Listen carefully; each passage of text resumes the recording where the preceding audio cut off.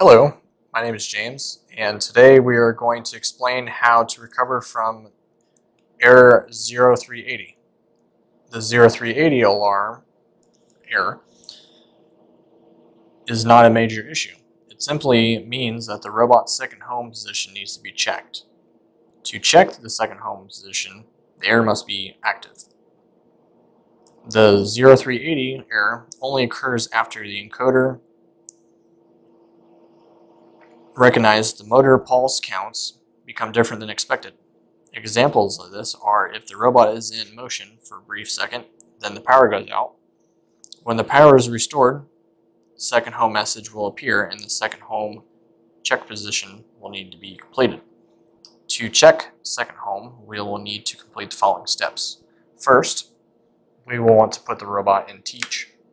And then you will want to be in joint coordinates. Third, we need to change the security level to three keys.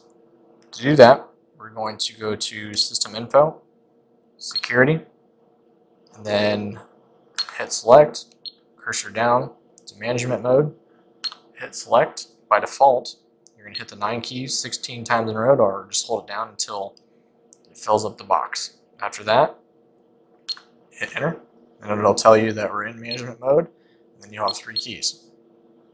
Once that step is complete, you're going to want to go to robot icon, second home,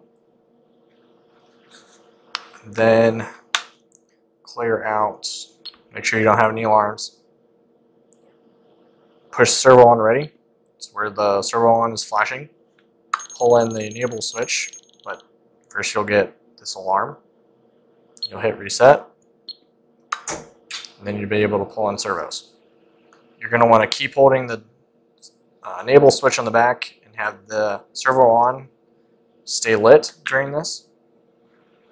And then you're going to find the forward button. But before you press and hold the forward button, you're going to want to make sure you have eye contact with the robot the robot's going to take the shortest distance from where it's currently at to line up all of the alignment marks. So once you know that the robot is away from crashing into anything, you're going to want to press and hold the forward button until the difference column reads all zero.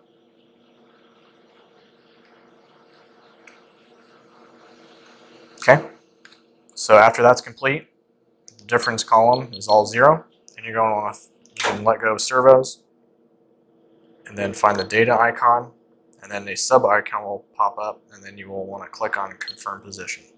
Once you do that, you will get a message down in the bottom that says home position has been checked. So once that is done, you'll want to go back to your a couple of your jobs and run through the points to verify that the points are still on. If they're not, then you'll have to go through and touch them up. And this will conclude on how to recover from a 0380 alarm.